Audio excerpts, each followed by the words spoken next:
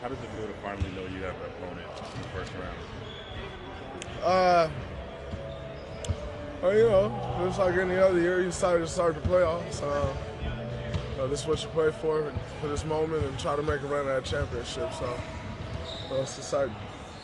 How, how was practice today, and how do you gauge the mood and the feistiness of this team right now? Uh, it was a great practice, man. Focus levels is great. You know, you kind of see pep in the step. So, um, it was a good day for us.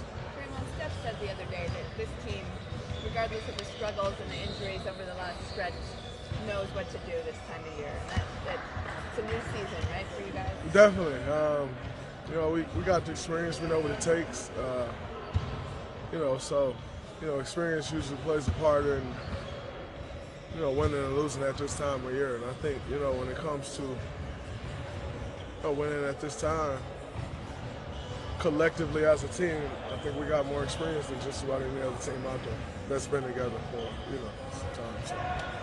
Draymond, is it different playing without Steph in the playoffs than it is in the regular season? I mean, it's just like playing with them in any other game, you know. Definitely makes things tougher, but you know we've been here before. Just gotta come out and execute and play our game. What have you learned about this group over the last month or so? Uh, that we can struggle. That's about it. And get through it. no, I mean I don't. You know I know this group. You know I know what this team is about. I know the guys on this team, so you know it's not about learning much. We know each other. Were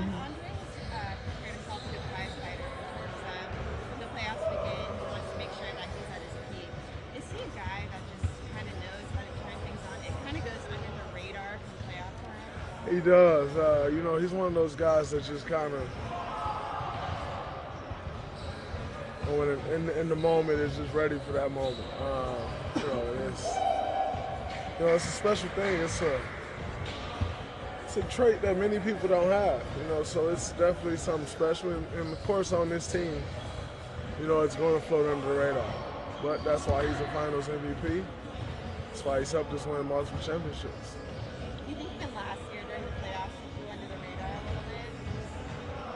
Every year. That's just how it is. That's how it's been. That's the way it's gonna be. You know. But that's great for us. And he, he likes it like that. Yeah, he's not a guy that's chasing any attention um, or want the story to be about him. That's not him. You guys been talking about flipping the switch all season. Do you feel like you began that process today, or is it a long? Is it a not that simple? No, you don't just flip a switch. Yeah. Um, you know, I don't think we just flip a switch. You know, we we won 58 games. You don't do that flipping a switch. You know, uh, we have good games and we have bad games. Uh, we have great stretches and we have bad stretches. But you don't just flip a switch. What does it say about the, you know, the center by committee sort of that Steve has been doing, where different guys can contribute different nights, and they, you know, they may not get many minutes on the other night, and they just stay ready. Uh, I mean, it says a lot about you know the culture that's been built around here. Um, you know, with, you know the type of professionals that are here. You know, and just staying ready, waiting for their number to be called, and giving the team what they got. Uh, you know, I think it's been more attention focused on that this year, but he's kind of been doing that. You know, ever since Bogut left, you know, it's just kind of been by committee. So, um, you know, all our centers bring us some different, bring us a different look, and that's great for us. Does that make it difficult to, to prepare for you guys? No, not at all. Were you watching? Kevin's always been who he is, but like, so I'm not asking from like a production standpoint, but what is, what's he been like as a leader this season? Uh, he's grown. You know, I think that's an area that, you know, even he would admit that it was something that, you know, over the years he's wasn't as comfortable with, and has continued to grow in that area. So, you know, that's all you can ask for. You know, as a teammate, as a basketball player, as anything to do with basketball, that's all you can in life. You can really ask for someone to grow. I think he's grown. What jumps out to you as far as what what he's shown in, in No, just his communication. You know, he's got more and more comfortable communicating, not afraid to hear his own voice. Were you watching games last night? How, Yes, how it was intent were you fun. to figure out who your opponent It ain't had nothing to do with who we was gonna play. Uh, number one, there was too many. You know, I had they gave me the sheet the other night, and it was like full of scenarios of people we could play. It was too much. Uh, so I just enjoyed the games. It was fun to watch. Real fun to watch. Nah, I couldn't do it. Nah, I couldn't. Nah, it, it, my, uh, I think I'm a pretty smart guy, but that was too much for me. So I just enjoyed the basketball games. That Minnesota Denver game was real good.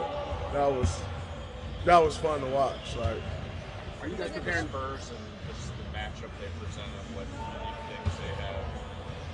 what about them? Uh, with this Spurs matchup, what makes them unique? I mean, they're the Spurs. You know, they they don't beat themselves. You have to beat them. Um, you know, and they will allow you to beat yourself. You know, so it's just about being solid, playing our game.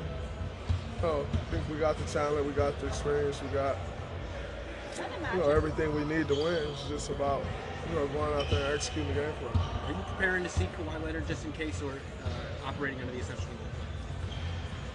I'm operating under the sense of it don't matter.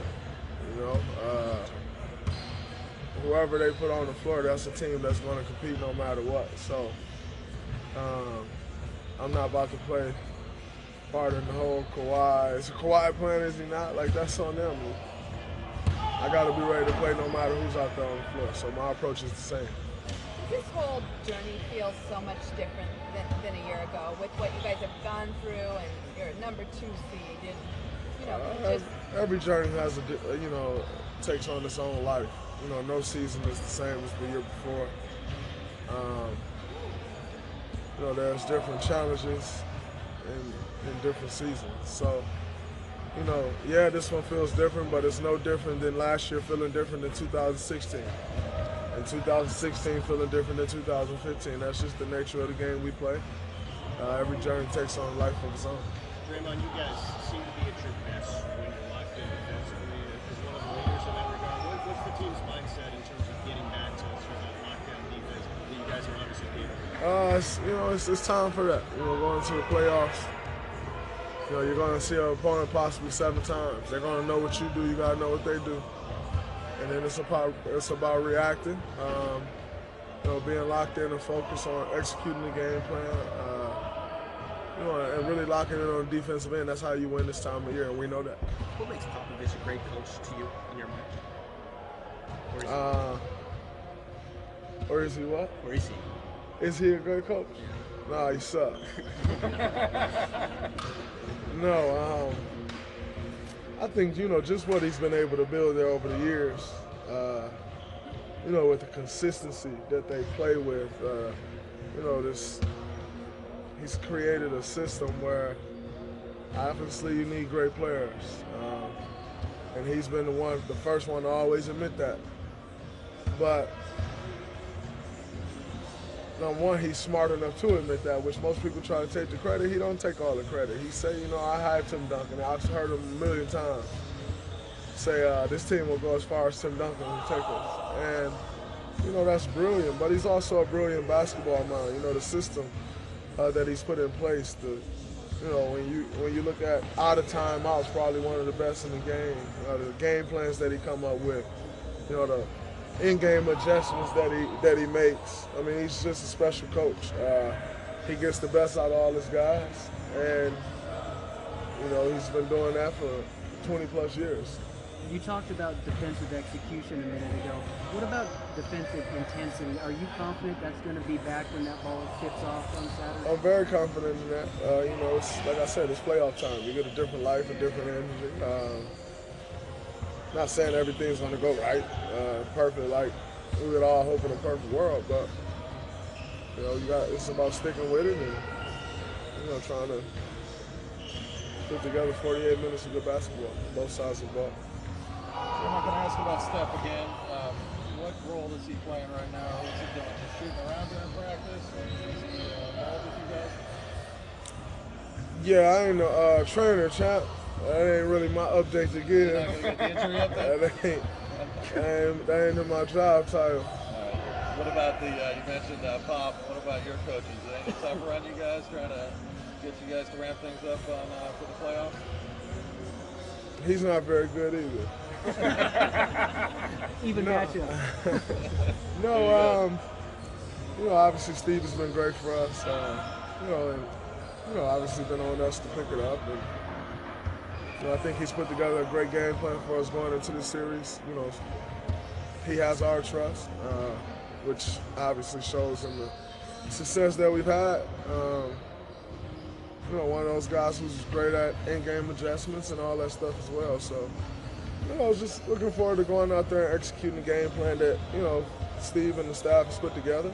Uh, you know, we know if we execute the game plan like we're supposed to, give ourselves a chance to win, and that's all you can ask for.